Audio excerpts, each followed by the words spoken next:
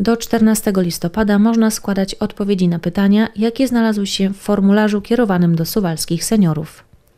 Ankieta jest jednym z narzędzi pozwalających uzyskać niezbędne informacje i opinie, mające służyć opracowaniu strategii rozwoju ponadlokalnego dla miasta Suwałki oraz gminy Suwałki, tworzących tzw. Tak Miejski Obszar Funkcjonalny Suwałk. Ankieta jest w pełni anonimowa. Formularz zaczyna się od subiektywnej oceny własnego stanu zdrowia, by dalej przejść do wyrażania opinii o dostępności usług zdrowotnych, farmaceutycznych w Suwałkach. Kolejne pytania dotyczą telemedycyny i działań profilaktycznych. Ocenić w ankiecie można również jakość przestrzeni publicznej, własną aktywność społeczną. W kolejnych pytaniach poszukiwane są odpowiedzi na pytania dotyczące ewentualnej potrzeby wsparcia, chęci aktywizacji, zainteresowań i potrzeb społecznych.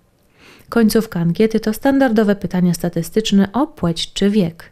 Link wiodący do ankiety można znaleźć na stronie umsuwalki.pl, gdzie wystarczy otworzyć wpis pod tytułem Ankieta dotycząca badań seniorów Miejskiego Obszaru Funkcjonalnego Suwałk i w jego treści kliknąć na przekierowanie do formularza.